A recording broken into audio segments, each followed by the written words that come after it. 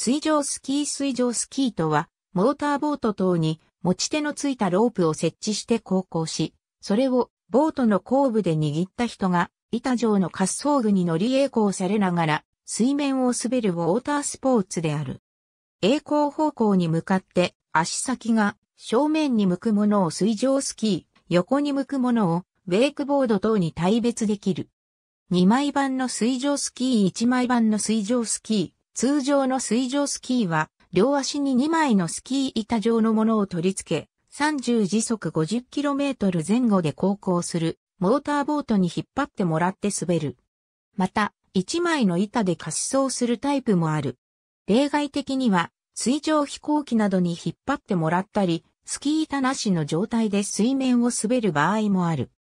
水上スキーに類似したものに、ロープを取り付けたゴムボート等に人がしがみつき、モーターボートで引いて、水面を滑るものがあるが、滑る人が持ち手を握って、ロープをコントロールしないものは通常は、水上スキーとは区別される。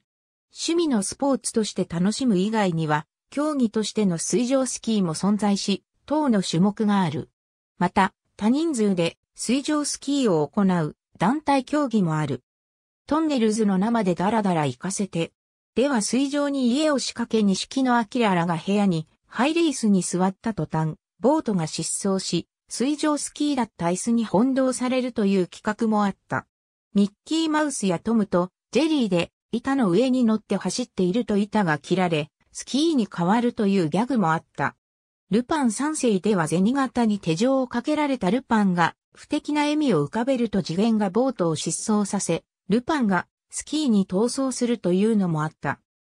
水上スキーが世界で初めて行われたのは、ラルフ・ W・ サミュエルソンという人が1922年の夏にアメリカ合衆国ミネソタ州レイクシティのペピンコで松の木の板2枚をスキー代わりにして時速 22km で航行するモーターボートに引かれて滑ったというのが定説になっている。日本で最初に水上スキーが行われたのは神奈川県の足の湖とされている。